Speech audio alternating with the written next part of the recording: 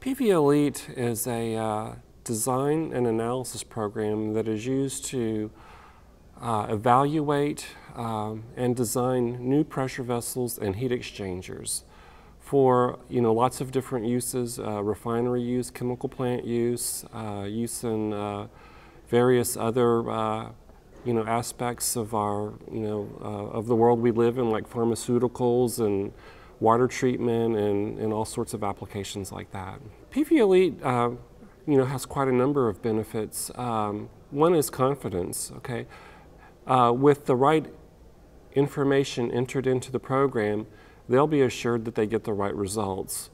Uh, that certainly is one thing. Of course, there are lots of other things, uh, you know, ease of use, um, uh, nice reporting, uh, displays, uh, graphics, 2D and 3D graphics, uh, all those things like that give users lots of confidence and it gives them a, the best tool to get their job done.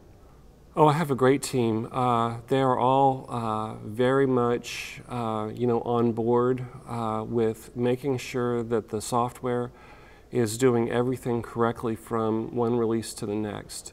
Uh, we have a very specific uh, design process when we implement new features in the software. The software gets developed, it gets checked, it gets checked again. We have example problems. We have a very specific methodology of, of everything we do, and they're all very dedicated uh, to doing their jobs and to make sure that everything is organized where we can get to all of our information and our tests.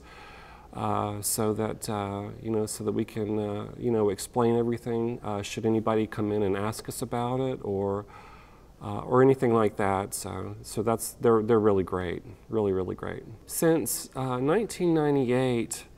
Uh, I have been attending the American Society of Mechanical Engineers Section 8 uh, Boiler and Pressure Vessel Code Week.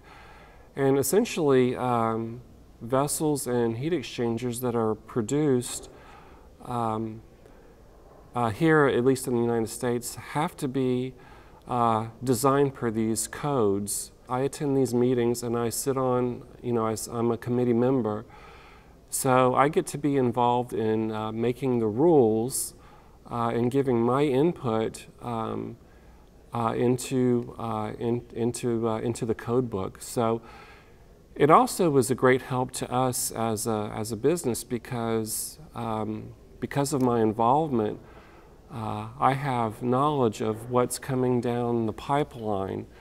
And so um, knowing that ahead of time, helps us to um, put our development priorities in place uh, so that we can um, actually get all those things into the software in a timely manner before it's due to be released at the end of the year.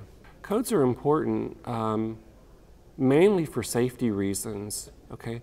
So um, all of this pressurized equipment that you see, you know, as you drive along, uh, down the highway, you see these big chemical plants and refineries. Uh, they have to be safe. Okay, that's the the main priority of our codes and standards, and the engineering profession in general is to keep the public safe. And so, by having very good rules, uh, that's what we help to accomplish.